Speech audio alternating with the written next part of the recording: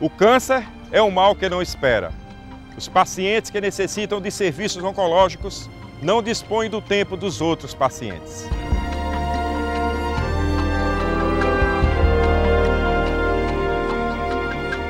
Por isso, o Partido da República está comprometido na luta pela construção do Hospital do Câncer em Sergipe. Hoje é o Dia Mundial do Combate ao Câncer e o PR convida você a entrar também nesta luta pela vida.